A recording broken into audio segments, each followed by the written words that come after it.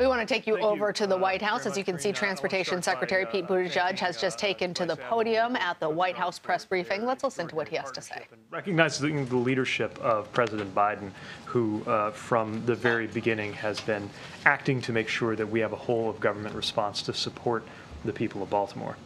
Yesterday, America awoke to shocking images of the Francis Scott Key Bridge collapsing after it was struck by a Neo-Panamax container vessel. And by the time most Americans saw those images, first responders and rescuers had already been at work for hours to save lives. That quick work unquestionably made an enormous difference, and they have our gratitude.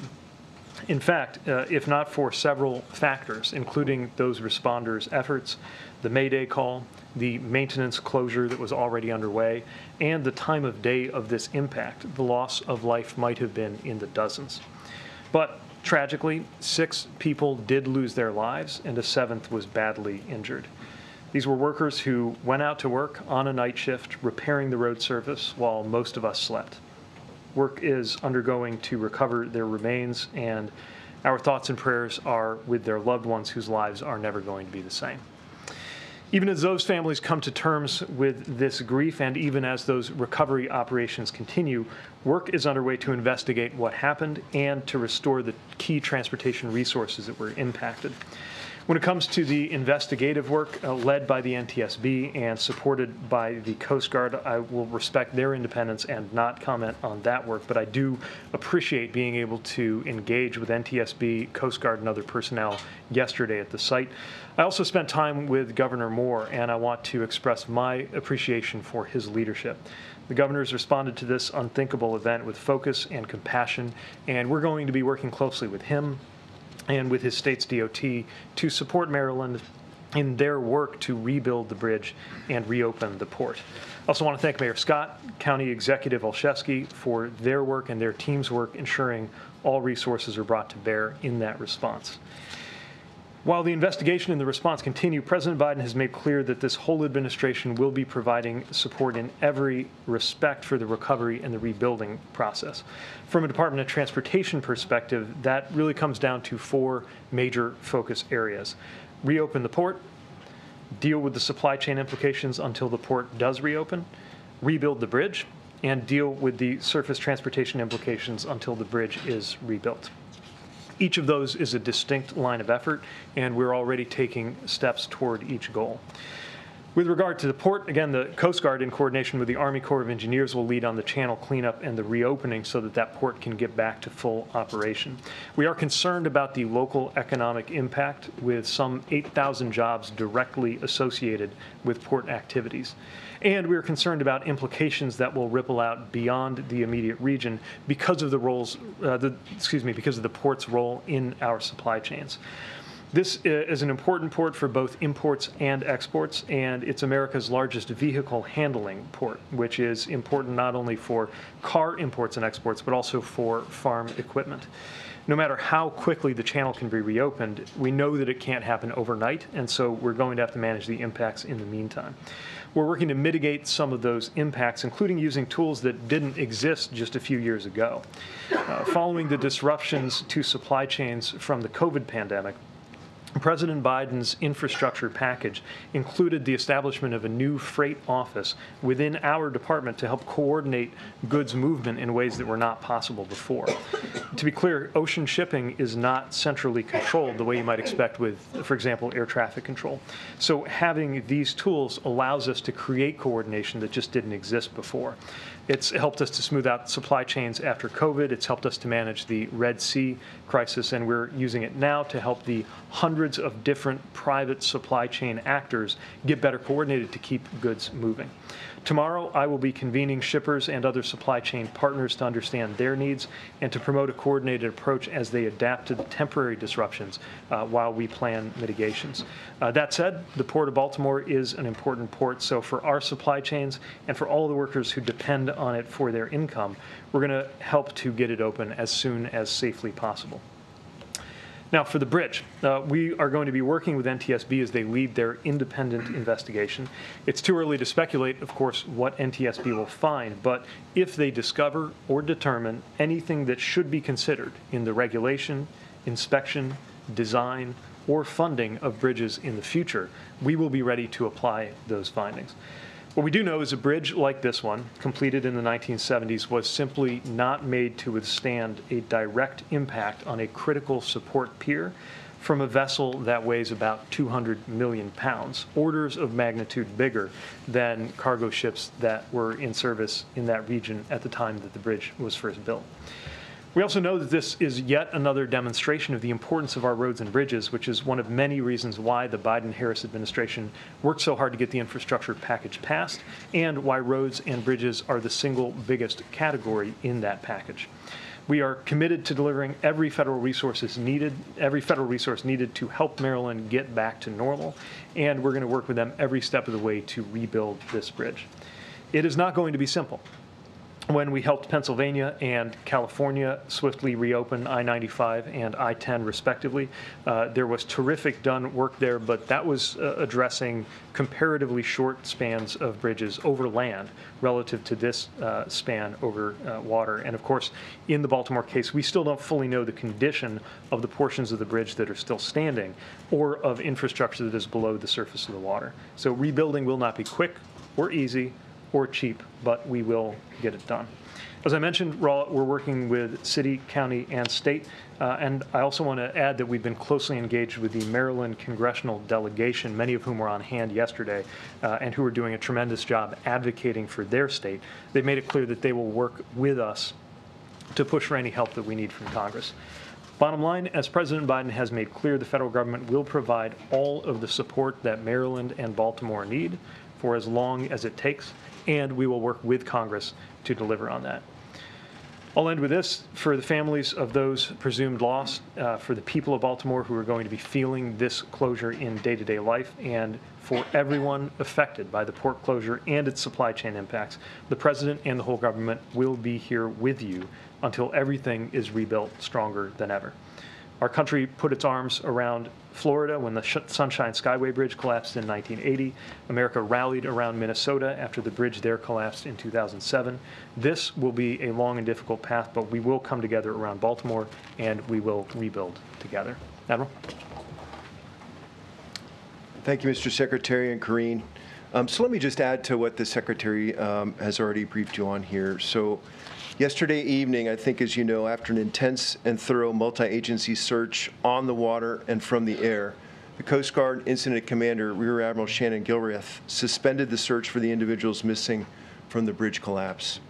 He did this after consulting Governor Moore and many of the other agencies that were involved. The Coast Guard and the response community is deeply saddened at the, that the missing individuals have not survived. And the Coast Guard appreciates the state of Maryland's leadership and humanity in supporting the family members of the missing. I'd like to personally thank the state and local responders for their heroic search and rescue efforts. While we didn't achieve the outcome that we had hoped for, it was a tremendous team effort in the treacherous operational conditions. As this aspect of the response shift to recovery operations and consistent with the President's direction to get the port up and running as soon as possible, the Coast Guard highest priority now is restoring the waterway for shipping stabilizing the motor vessel Dali and removing it from the site, and coordinating a maritime casualty investigation under the leadership of the National Transportation and Safety Board. So just a couple of words on each one of those. So in terms of assessing restoring the waterway, the Coast Guard is very tightly connected to the Army Corps of Engineers as they lead in that role as the lead federal agency um, for that effort. Um, as we were in the Oval Office, the President called General Spellmon, the Chief of the Army Corps of Engineers, who's on site. General Spellmon and I had a number of conversations yesterday in terms of the coordinated approach moving forward, and they are moving very aggressively in putting resources and mobilizing the necessary equipment, uh, conducting the analysis and the underwater surveys to do that. In terms of continuing to stabilize the vessel, mitigating any pollution threat, and removing the vessel from the area. Um, the vessel is stable, but it still has um, over one and a half million gallons of fuel oil and lube oil on board. And it does have 4,700 cargo containers on board. 56 of those contain hazardous materials, and two are missing overboard. The ones that are in the water do not contain hazardous, hazardous materials. And then around 13 or so on the bow of the ship were damaged as the bridge collapsed and impacted the, the front of that ship. So the Coast Guard has moved aggressively to board the vessel, and we have teams on board. Um, The responsible party, the ship operator, has mobilized, activated their marine salvage plan in addition to their marine pollution response plan, both things that are required by the United States Coast Guard. The salvor is um, Re- Resolve Marine Incorporated, and they have begun mobilizing resources to take the next steps appropriate to uh, refloat the vessel and remove it from that area. The real uh, critical thing here is that, as you know, a portion of the bridge remains on the bow of that ship, and we will be coordinating very closely with the Army Corps of Engineers and their contractors to first effect the removal of that debris before the vessel can then be removed. The vessel bow is sitting on the bottom because of the weight um, of the, um, of that bridge debris on there. Um, And there are underwater surveys that are happening by remotely operated vehicle. Divers will be in the water today to complete that underwater survey.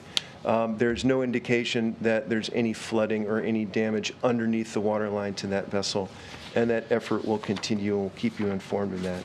And then lastly, in terms of the, uh, the casualty investigation, as the Secretary had said, this is led by the National Transportation and Safety Board. Um, I've had a couple of conversations with Chair uh, on this account, and basically what we've done is we've activated a memorandum of understanding uh, between the Coast Guard and NTSB, and because the multimodal and complex nature of this investigation, we will pro- be providing Coast Guard investigators um, for what we call a Marine Board of Investigation, which is our highest level of investigation in the Coast Guard that will fold in and coordinate with the NTSB investigation as that moves forward. Um, I think uh, the Secretary closed with some um, um, top-line messages, and for us, um, I can tell you that our unified command, which is essentially a term that we use in the United States for how we mobilize against crises with all the appropriate federal, state, local agencies and other stakeholders. Um, We have a tremendous amount of talent uh, on there and um, uh, a lot of resourcing. And uh, given the magnitude and importance of this response, it's going to be very, very aggressive moving forward, and we'll keep you informed of that. Thank you. All right, couple questions. Okay, Thank you so much. Um, Admiral, CNN has obtained a government memo that the Coast Guard is currently evaluating hazardous material that was contained in some of the containers on the ship. Um, Can you update us on that investigation? And is there a threat to the public from any of the materials on board the ship? There, there is no threat to the public from the hazardous materials on board. So we've obtained the vessel manifest that container ships carry and done the uh, analysis of the types of hazmats that are on board. We have a very specialized hazmat team on board called the Atlantic Strike Team. We have three of those around the country.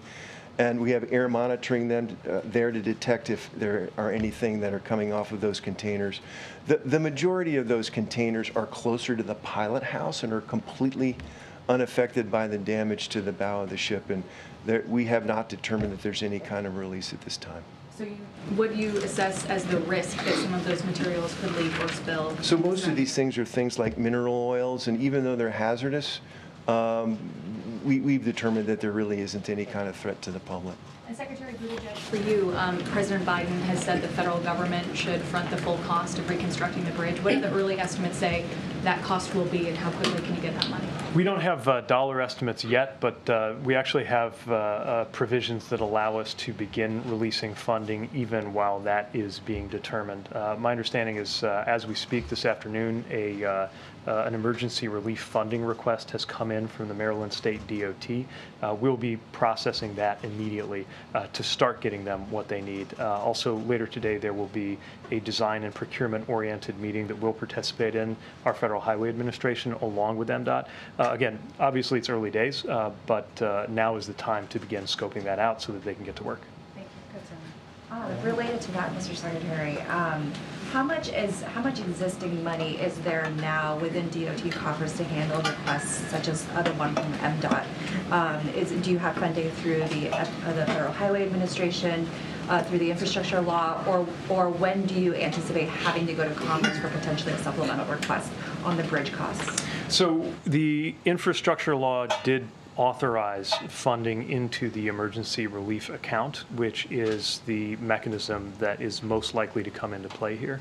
Uh, Last I checked, there was about $950 million uh, available, uh, but uh, also a long line of needs and and projects behind that. So it is certainly possible, uh, I would go so far as to say likely, that we uh, may be turning to Congress in order to help top up those funds. But that shouldn't be a barrier to the immediate next few days beginning to get the ball rolling. What would be the timeframe of sending that sub request? I think it's too soon to, to know the mechanics of that. And for the, sorry, for the, uh, for the Vice Admiral, um, can you discuss broadly just the, uh, the the safety of maritime shipping in general um, and kind of the strength of the regulations that govern it? And particularly, the the inherent international nature of the maritime business could potentially create issues, especially if you have ships based in different countries with potentially weaker regulations. Can you Sure. speak to those broader issues? Yeah, absolutely. So despite what happened 36 hours ago uh, in Baltimore, the maritime mode of transportation, merchant shipping, is an incredibly, incredibly safe mode of transportation, not just here in the United States, uh, but worldwide. While we do have a regime of regulations that are just comprehensive in terms of the vessel conditions, the cargo uh, that they carry and how they do that, the qualifications and certifications from the mariners who operate these ships, those are actually networked with a global set of regulations that we negotiate and uphold through the International Maritime Organization in London. So this ship was flagged by Singapore. That was the flag state administration. And I spoke with the administration um, in Singapore just a few hours ago. They'll be participating in the investigation. Um, we do something called flag state uh, examinations to ensure that even though these are not U.S. flag vessels coming in, we do an inspection to assure that they meet the high international and domestic standards that we demand. Uh, Secretary Buttigieg, um, I know that you said the the rebuilding efforts are just beginning, but when it comes to the actual port, can you give us a sense of what the timeline would be for reopening? Is it days? Is it weeks? Is it months? And same for the bridge. Are we talking about weeks, months? Are we talking about years? Too soon to be certain. What I'll say in the case of the bridge is that uh, the original bridge took five years to construct. That does not necessarily mean it will take five years to replace, uh, but uh, that, that tells you what went into that original structure going up. Again, we need to get a sense of the conditions uh, of the, the parts that look okay to the naked eye, but, but we just don't know yet, especially in terms of their foundational infrastructure. So it is going to be some time where commuters are going to need to depend on that 95 and uh, 895 tunnel, and it's going to put pressure on them. As far as the port, uh, again, too soon to venture an estimate. The vast majority of the port is uh, inside of that bridge, which means uh, most of it cannot operate, although there is a facility at what's called Sparrows Point that can handle some amount uh, of cargo shipping, but nothing close to the totality of Baltimore. And, and for the port workers, you mentioned there's going to be an economic cost, but also incurred to them, I'm sure. Any of the funding that you're talking about in terms of emergency funding, would that cover uh, them as well? Uh, Yeah, this, this is a, a major concern. The president has directed the administration to find any and all resources that could come into play here. I don't know this to be an automatic eligibility for the emergency relief funding that I mentioned earlier, uh, but we're going to turn over every stone we have, and of course, beyond DOT, there may be other resources that come into play. And sorry, just one more quickly. Um, Have you been in any communication with the owners of this vessel in terms of them paying some kind of um, consequence here? I have not, and I'd really defer to uh, NTSB and law enforcement for that. Mr. Secretary, do you envision that this would be constructing a very different bridge going forward? You referenced the 1970 state of affairs then. Do you believe it would be an entirely new span? And would you envision different safety mechanisms uh, as you are assessing this at this point? I can't speculate on that. What I will note is that uh, some of the other uh, bridge collapses that are, were of these proportions, notably the Minnesota bridge collapse, uh, happened because of a de- design flaw and the bridge spontaneously collapsed. This is, of course, not that. Uh, this was the result of an impact. But we don't yet know what uh, NTSB will find or how that might inform plans going forward. And based on what you've seen so far, do you recommend that any other spans take any steps uh, based on what we've learned about however remarkably unusual it was for that impact, do you think there need to be different steps to protect other spans going forward? Some modern bridges around the world, especially after the 1980 Tampa incident, have been designed with uh, different features to mitigate impacts and protect their piers. Right now, I think there's uh, a lot of debate taking place among the engineering community about whether any of those features could have uh, uh, had any role uh, in, uh, in a situation like this. Again, it's difficult to overstate the impact of this uh, collision. We're talking about, it's not just as big as a building, it's really as big as a block. Uh, A hundred thousand tons all going into this pier all at once. But one other thing I would add, more broadly speaking, is that the President's infrastructure package uh, has the first ever dedicated federal fund for resilience. Uh, Largely, that's been construed in terms of uh, seismic resilience and resilience in the face of extreme weather events, Uh, but certainly something we'll be looking at going forward, knowing what we've experienced in Baltimore. And lastly, the status of the crew of the cargo ship, maybe the Vice Admiral is better suited for that. Are they still on board, and are they fully cooperating with what you need? The crew is, uh, is cooperating with what we need. The, they remain on board, um, and uh, predominantly an Indian crew with one Sri Lankan crew member on board, but um, they're still there and um, very much engaged in the dialogue and the investigation. Uh, To the Vice Admiral, are there any early indications of what caused the Dali to lose propulsion during its voyage? And what are some of the areas of focus so far when it comes to the investigation into the accident? Yeah, I think we all want to know as quickly as possible at least some initial findings, but I really need to refer you to the National Transportation Safety Board and their messaging in terms of moving forward very deliberately and on a factual basis to uncover some of those answers. Secretary Buttigieg, you talked about, you know, how, you know, the, the bridge simply was not built to withstand uh, impact of this nature, but is it your view that the bridge was built strongly enough? Why didn't it have some of the defensive structures around the support column as many other bridges do? Uh, Again, uh, I don't want to get ahead of any investigation either. I will say that, that uh, part of what's being debated is whether any design feature now known uh, would have made a difference in this case. We'll get more information on that as the investigation proceeds. Thank you. Secretary Buttigieg, you've been talking about the president vowing to pay for the cost of the bridge in full to expedite that rebuilding process, but are you going to go after the shipping company? Any uh, private party that is found responsible and liable will be held accountable. I think our emphasis and the president's uh, goal is to make sure that that process is not something we have to wait for in order to support Maryland with the funds that they need. And that's what these emergency relief tools can help us do. What could that accountability look like? Uh, Again, I don't want to get ahead of law enforcement, NTSB, or any of the other players here, but uh, needless to say, there's a lot, going to be a lot of focus on that. Anybody who is responsible will need to be accountable. Rebuilding obviously won't be cheap, and you talked about possibly needing to give that supplemental request to Congress. How much money are we talking about? Just too soon to say. And just one question for the Vice Admiral, um, Admiral. When it comes to, you know, getting the situation cleaned up um, and recovery efforts, what are the biggest challenges that you're facing and the kind of equipment that you have to move in?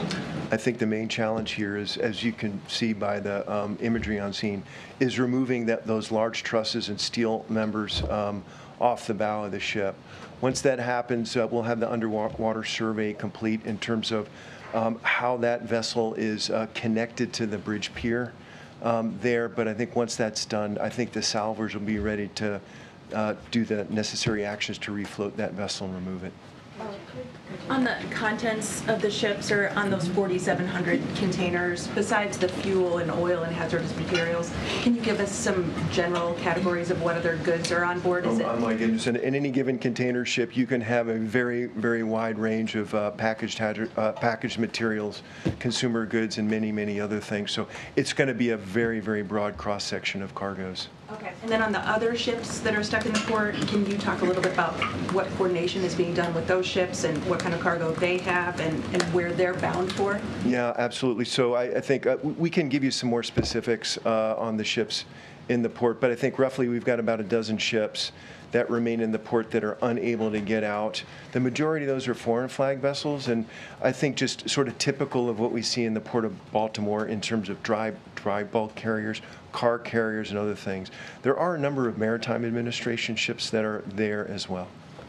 And then Secretary Buttigieg, um, on regulations and requirements, are you discussing waiving any regulations or requirements to help speed along the reconstruction of this bridge? Uh, Too soon to say what exact administrative issues may come up, but certainly we have a clear direction from the president to tear down any barriers, bureaucratic as well as financial, that could affect the timeline of this project. Th- Thanks, Karine. Uh. Secretary, you mentioned you were meeting with uh, shippers and supply chain operators tomorrow, but just sort of curious about your early assessment so far. Do you expect uh, the closure of the port to lead to a full-blown supply chain crisis, or what is your early assessment so far? Well, uh, this is not uh, of the proportions of, for example, LA and Long Beach when it comes to container traffic. That's that's one port complex or two ports that collectively represent 40% of U.S. container traffic. It's nothing like that, but it is a, an important port and an important system of the East Coast ports. Uh, now, a lot of the goods that come on or off there go as part of runs uh, where ships also visit uh, the ports of New York and New Jersey and Virginia. Uh, and so right now, I think there are already diversions taking place to those and other East Coast ports, helping to absorb some of that need. Uh, so uh, those are the kinds of things we're getting more information on right now, and I'm looking forward to getting a better sense tomorrow after talking to the shippers. And, a quick uh, question on sort of um, safety reviews. You know, obviously the ship was involved in an accident in Belgium, uh, I believe in 2016. Uh, is this incident going to prompt a full-scale review of vessels like this? So, so we've seen uh, what's in the news in terms of that particular incident. I don't know whether that's particularly informative to this. Probably a different vessel crew, different pilots, different weather conditions, and so on and so forth. But nevertheless, we have the Coast Guard keeps the histories, the safety histories of all the vessels that call into U.S. ports, and so we're reviewing that in terms of the investigation. Um, Thank you for the uh, Vice Admiral. Uh, Can you discuss your degree, your degree of confidence? Right, we've been listening there to Biden administration officials discuss the uh, Baltimore Bridge collapse at today's White House press briefing. We heard Transportation Secretary Pete Buttigieg discuss incredible efforts by first responders quickly moving and saying that that prevented a larger loss of life. He also says recovery operations uh, are underway to find the remains of those who did lose their lives. He also said it's there's no dollar amount on what it would take to rebuild a bridge there, and it's too soon to be certain how long that might take, but the investigation into this collapse continues. Buttigieg says that the administration will work with the state of Maryland to rebuild the bridge and reopen the port. He did say that the Key Bridge, built in the 1970s, was not designed to take a hit to the support column that caused the bridge's collapse.